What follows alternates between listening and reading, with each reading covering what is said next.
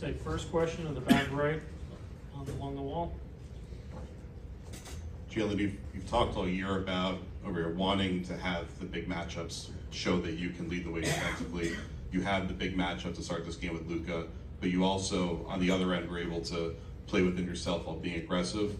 How difficult is that balance on the biggest stage to have those responsibilities, and how much do you relish that? I think it's a full team effort. Um, and you know, Luka Doncic still at 30 and 10. You know, so got to do a better job. Um, but you know, it's a full team effort. And you know, tonight I got lucky a few times, but we got to get ready for game two. When John Karalis, Boston Sports Journal, uh, when you guys lost that lead, you know, it gets down from 29 to 8. What's going through your head?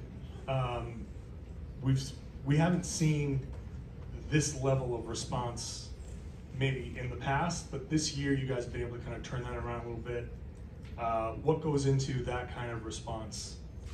That's the game right there. Um, it's gonna be, it's not gonna be perfect. It's a long series. I expect them game two to come out with tremendous force and maybe try to hit us in the mouth. So, you know, that's the game. You know, when a team goes on a run, you gotta, you gotta manage it. Um, you gotta stay composed. Um, you gotta keep playing basketball. It's almost like you just have short-term memory. A little bit like the team's not even on a run. You gotta play smart basketball. Um, and you know make great plays um, to get us on a get our flow back. And I think in that third quarter, I got to the free throw line. I think that helped us get going. And we made some reads. I made a kick out to the corner. Al got a three. We was able to get some good offensive going, but uh, getting to that paint, being solid, being composed was uh, what allowed us to push that lead back out player at some point has to deal with an injury and had to go through recovery and rehab to get back onto the court. And, and usually we see a bit of a feeling out process. Well, you know, uh, it's, it's, it takes time to get back to that same level.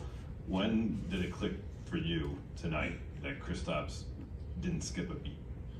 Yeah, that was it the first or the second quarter. He just went on a run where he just he, he, he hit the three, um, you know, hit the midi, and ran back, got the block at the rim in transition. Um, he was just making play after play, and it was just like, all right, this he's he's bad. There was no question about it then. So um, um, we need some more of that going forward for the rest of this series. Tim Bontemps from ESPN. Jaylen, a couple years ago, you guys were obviously in the finals. Now you're back two years later. The two biggest differences are having Jrue and Kristaps here with you guys. How much of an impact did the two of them make tonight? What did they show in terms of the differences they made to your team over the past year to get you to the position you guys are in? Yeah, two great additions between Kristaps and Jrue. And any given night, it could be any of us, you know. And uh, Kristaps had a monster game for us. Just his um, presence, shooting the ball, and be able to uh, attack those switches and mismatches. He he uh, made him pay every time, and that's what we need going forward in the series. Kristaps was big, um, but those other guys, Derrick White, Jrue Holiday, um, JT, all can get going at any point in time. So that's the beauty of our team. We just gotta, you know, every game has its own story. We just gotta stay ready, stay composed, and, and take it one game at a time. Jaylen, Vince Goodwill, Yahoo Sports. It looks like from earlier in the playoffs that you guys didn't need Porzingis. You guys got here with a 12-3 record and had a lot of rest it seems like he completes you guys with the way he protects the rim and plays in the middle of the floor. Do you see it that way that you guys are a, a complete top to bottom team now because he's back?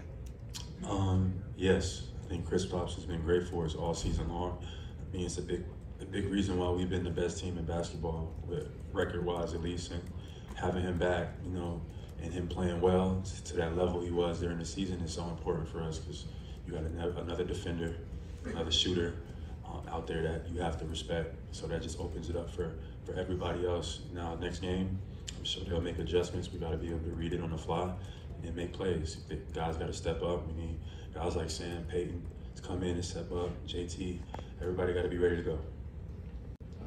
Steve Buckley from The Athletic. Uh, Jaylen, back to the eight-point uh, deficit of lead.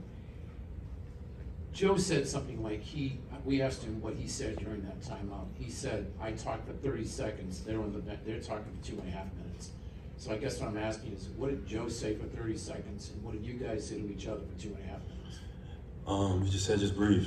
This is the game is starting now. Just breathe. Where this is a moment where, you know, our experience um, shines through. Just breathe. Just keep playing basketball.